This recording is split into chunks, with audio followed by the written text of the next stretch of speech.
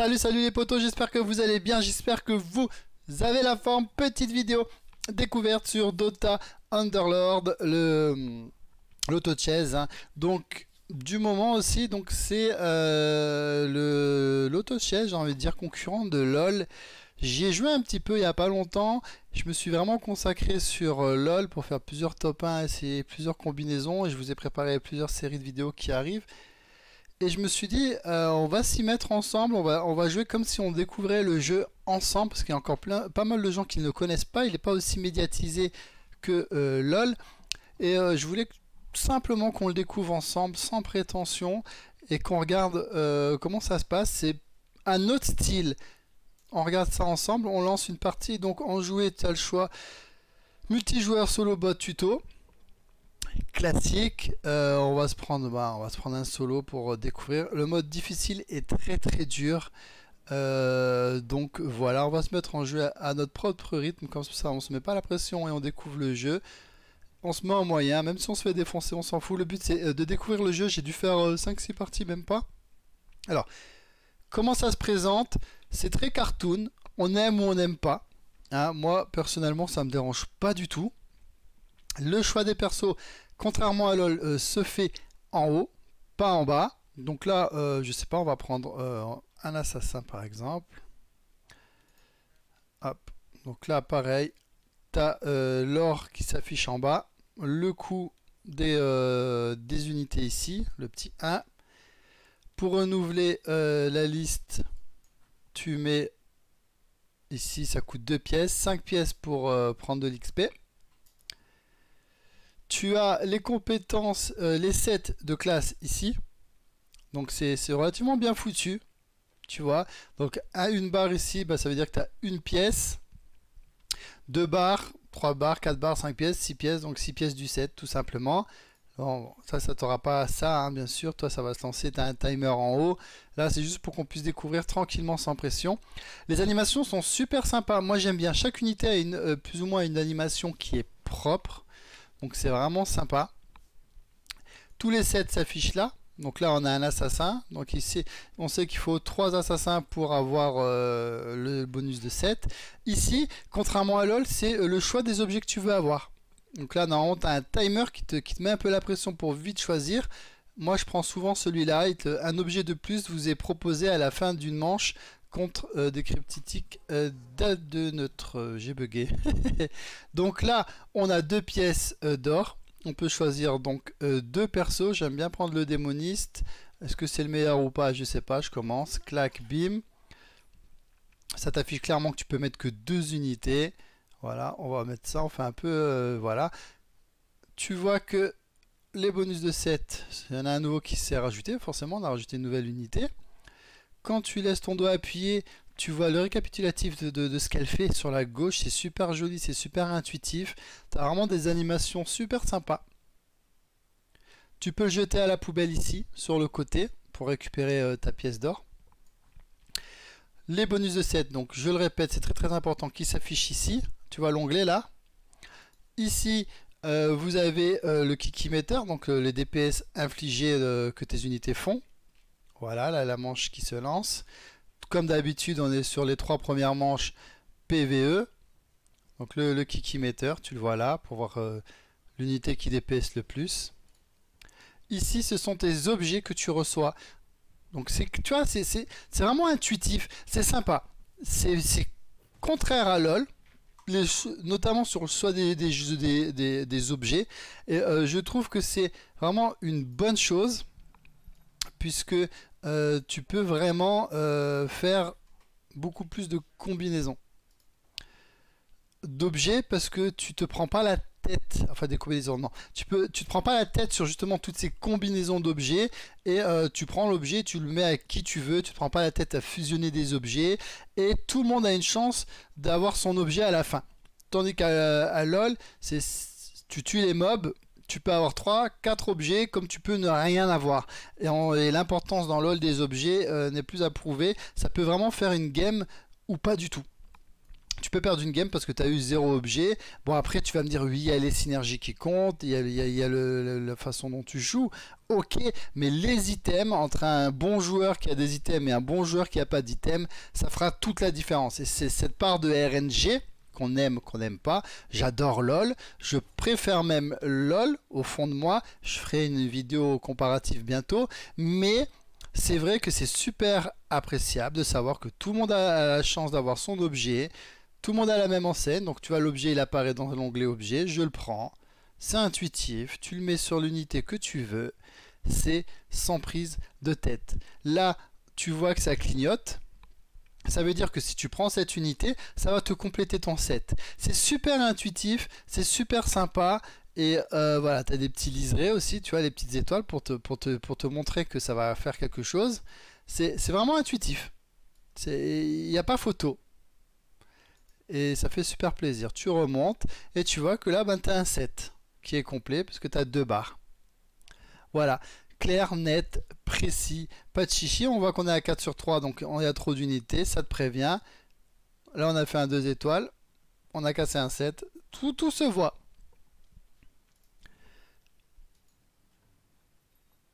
Voilà, on a deux unités,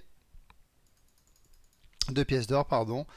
Si on veut euh, changer de niveau, il en faut 5, donc on peut pas pour l'instant. Voilà. Tu laisses la partie se défiler. Ici, tu vois les autres joueurs. Tu vois, c'est simple. Contrairement à LoL, c'est sur le côté gauche.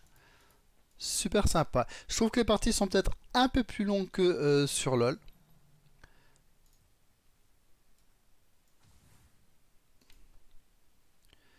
Voilà, on a, on a un bonus de 7. Hop, bim.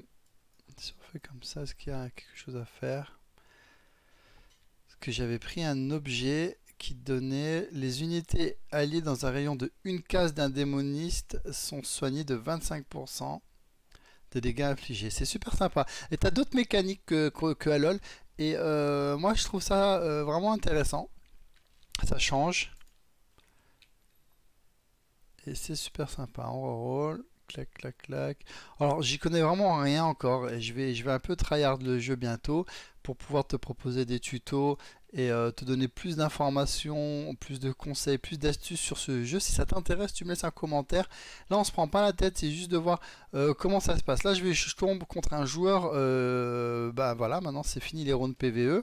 Je vais peut-être me faire déboîter parce que j'ai pas réfléchi vraiment aux combinaisons.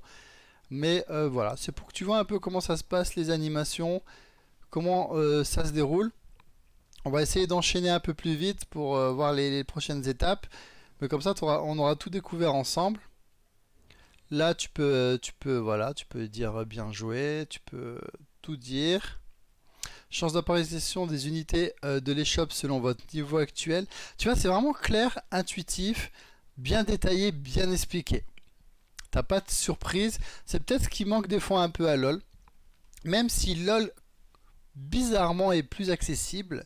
Et c'est ce qui fait vraiment que ces deux jeux sont vraiment euh, complémentaires en fait.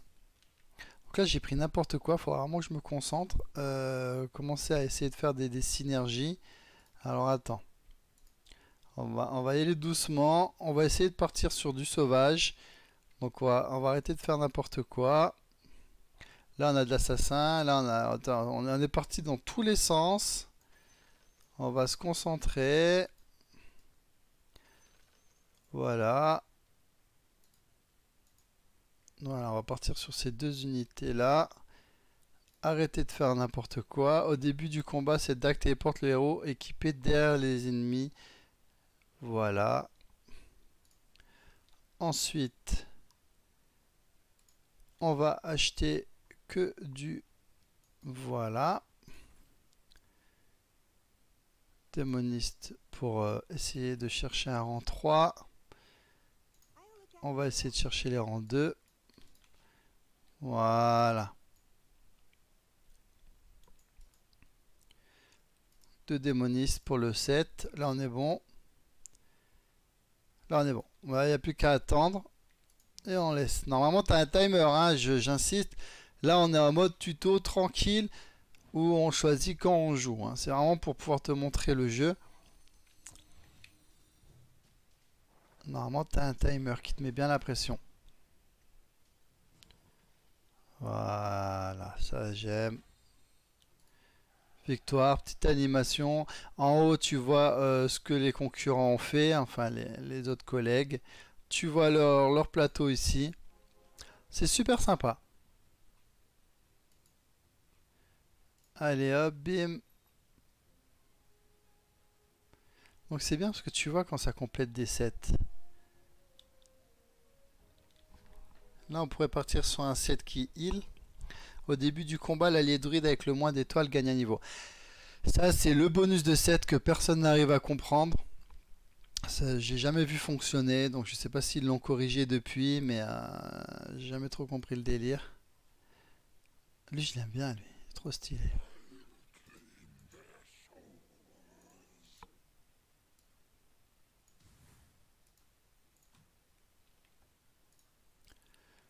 Ça fait quoi Source guérisseur lance un baril de poudre par exemple qui rebondit.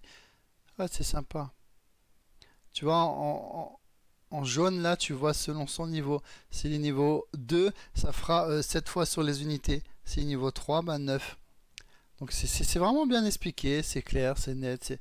Voilà. Après, est-ce qu'on aime ou pas les graphismes? C'est souvent le débat que j'entends.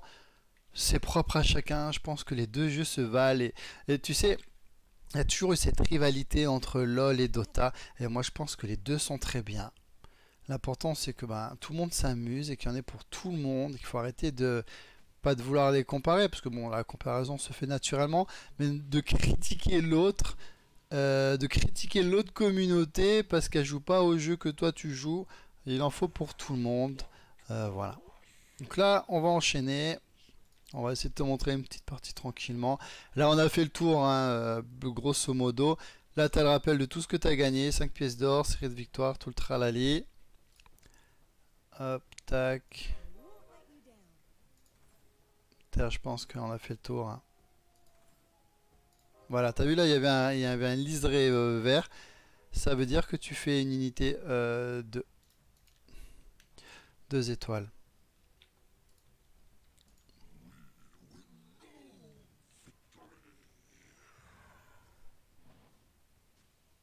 Et d'ailleurs, je trouve que ce mode où tu peux prendre le temps de jouer, de regarder tes unités, il est, vraiment bien. Pour débuter, c'est super utile. Ça te permet d'apprendre les unités, les classes, de jouer tranquillement, sans pression, même si tu te mets en mode difficile. Et quand tu vas arriver en ranked, tu défonces tout, enfin en ranked. On se comprend, euh, contre de vrais joueurs. Et là, tu as du concret pour tout péter, quoi. Allez Donc là, normalement, on peut mettre une unité de plus. Là, ça sert à rien de partir sur un bonus 3. Remarque là aussi. on va aller chercher du DPS.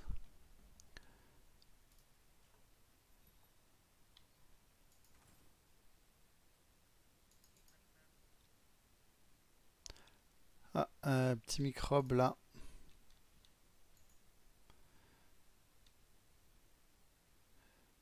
Parce que là, il me dit qu'il y a quoi On a quoi On a 1, 2. Ah, on en a deux, c'est vrai. Faut aller chercher le troisième. Ok. Je regarde s'il n'y a pas une autre phase en fait. Hein. Si je reste encore un petit peu, parce que je me souviens plus si c'est comme dans LoL où il y a une autre phase après entre les joueurs. Si on a une petite phase PVE ou pas. T'as vu, les animations sont super sympas. Hein. T'as vu quand ils changent de... qui se transforment? Moi j'aime bien. Franchement ça change. Et je pense que ça, vaut le coup. Regarde, t'as un liseré. Quand tu fais une série de victoires, ça l'annonce à tout le monde. Euh, Overgood a fait une série de victoires, etc. On l'arrête plus. C'est super sympa. Et de temps en temps, pour varier, euh, pourquoi pas.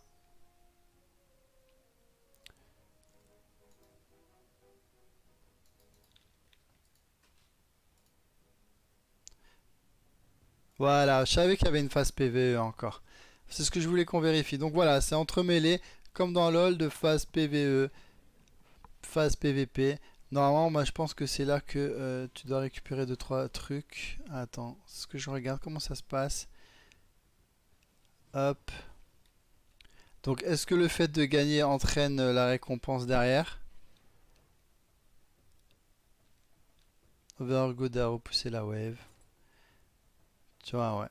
À chaque attaque, les unités sauvages font saigner les ennemis et leur font perdre 10 PV par seconde. Ça, c'est top. Unité. Voilà, ça aussi, c'est super sympa. Ça te dit si tu as des unités qui sont concernées par, ce, par cet item. Donc, c'est super intuitif, c'est super euh, bien détaillé. Donc, ça, c'est super sympa. Ça, c'est une unité qui se suffit à elle-même sur le, plan, sur le terrain. Donc, c'est pratique. On en a deux. Tac, j'aimerais bien. Voilà, comme ça on peut mettre celle-là qui se suffit à elle-même. C'est une unité qui, a besoin que d'une unité pour faire le set. Toutes les unités démons infligent 50% de dégâts purs. L'effet actif que quand un seul type de démon est présent sur le champ de bataille.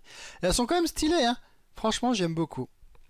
Donc je vais te faire un peu plus de tutos, rentrer un peu plus en profondeur. Là c'était vraiment une petite vidéo découverte sans prétention.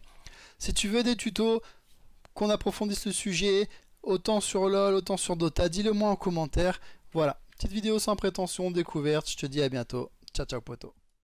Si cette vidéo t'a plu, n'hésite pas à laisser un commentaire, partage, abonne-toi, coche la petite cloche à côté pour ne pas louper les prochaines vidéos. Je te dis à bientôt. Ciao ciao